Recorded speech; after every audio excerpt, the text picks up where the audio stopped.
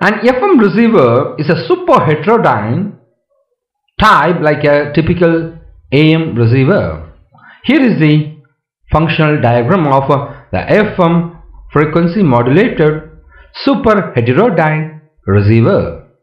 The RF section selects the incoming modulated signals and it is amplified.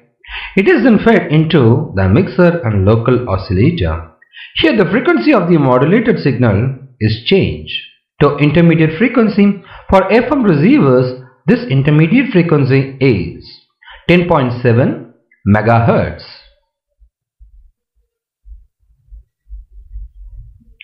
The intermediate frequency is amplified using IF amplifier and that amplitude is maintained constant using a limiter.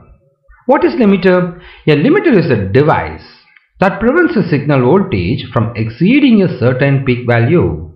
Limiters are used in FM receivers for the purpose of reducing the response to variation in the signal amplitude. That's your limiter.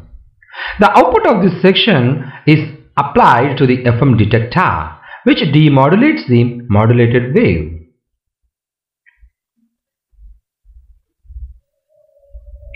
The AF signal from the FM detector is passed on through a de-emphasized network where the various frequencies attain their original power distribution. Finally, it is fed into the loudspeaker after performing an AF amplifier. You got it loudspeaker here. This is your FM super heterodyne receiver.